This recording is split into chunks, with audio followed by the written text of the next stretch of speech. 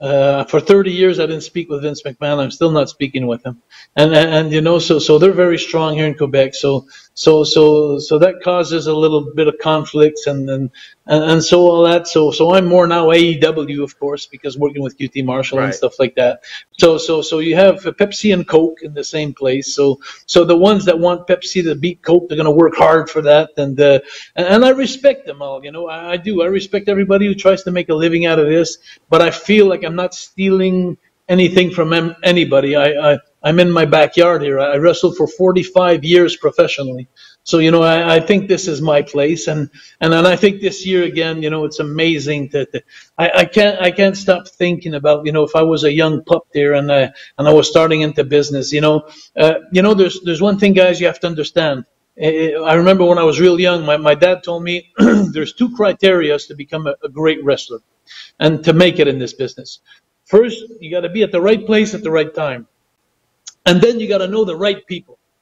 And you know, and, and this deal here, I can't get American papers for my, my people in Canada. That's the biggest problem that the Canadian wrestlers have. They can't get working visas. But I could get them now three months at the Nightmare Factory to be seen by QT Marshall, Billy Gunn in AEW, and Cody Rhodes in WWE.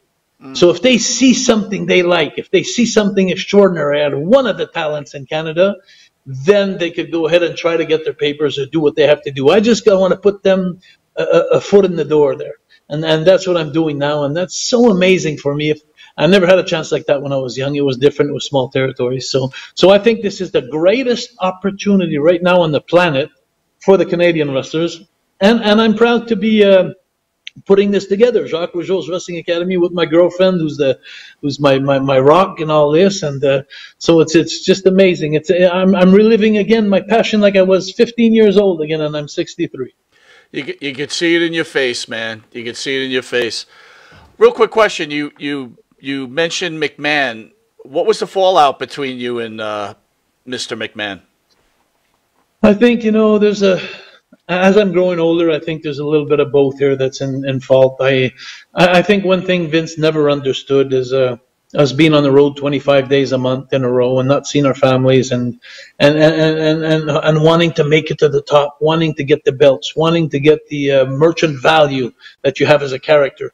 And everybody's fighting for that top spot, and we're all waiting in line to get the belts because I thought that was one of the best ways to, and, and, and, and and and after being there for like you know four years with my brother Raymond and never getting the tag belts, which we we deserved, and uh, we had it one night in Montreal, but they took it away by video the next day, and they never Yeah. acknowledged it at the WWF. Boo. And then and and, and, and then and then and then working at the uh, becoming the intercontinental title for two days. Hey, it's not bad. Two days, you know, it's okay. I, I I still think it was awesome because when people come to Comic Cons, they see they always have a doll with me with the belt around the intercontinental belt. I, I look at that and I said, man, I'm the shortest lived intercontinental title uh, holder. But anyway, that's fun. But then, but then. As the years progress, I came back as a Quebecers with Carl. You know, you want to, and and, I, and we were lucky. We took the belts right off the bat off the Steiners the first night in Manhattan at uh, Monday Night Raw, uh, as we came in as a team.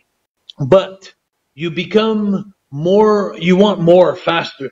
I paid my dues. And, and you want to have a top spot. You want, you want to stay in the top spot. And, uh, and, and then there, there was a time there, like, like for, for so many months, Carl and I, we were, uh, we were, we were getting beat night after night by middle teams, by underdog teams. And, and, and, but they kept telling us, and they kept telling me, don't worry, Jacques, because at WrestleMania 10, you guys are against the moms, men on a mission, hmm. and you guys are going to beat them right in the middle, and, and you're going to get all your credibility back. And we were going to Toronto, going to Montreal, and getting pinned in our own towns, like, you know, getting beat. But they kept telling us, Pat Patterson kept telling us, don't worry, Jacques, you're going to get all your credibility back at WrestleMania 10.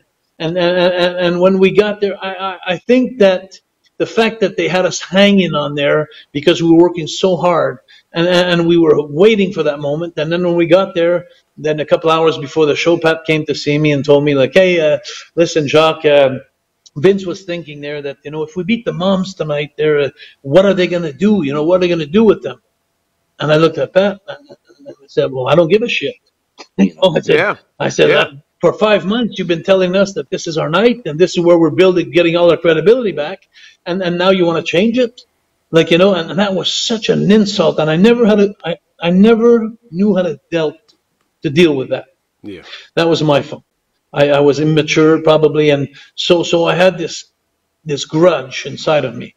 Like, you know, I felt like I was used and I felt, and, and all the good things that we, that he did for me, because he did plenty of good things for me, they, they seemed to all disappear because it was a hard time those times.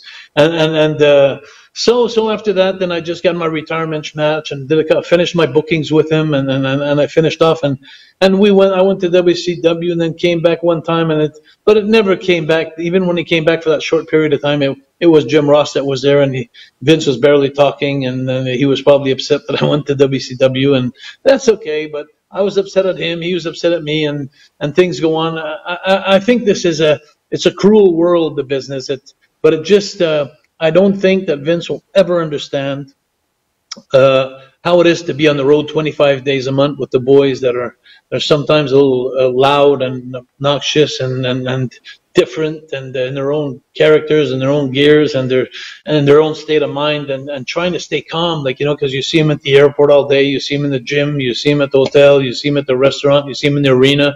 You're married to these guys you know day after day. So it becomes hard.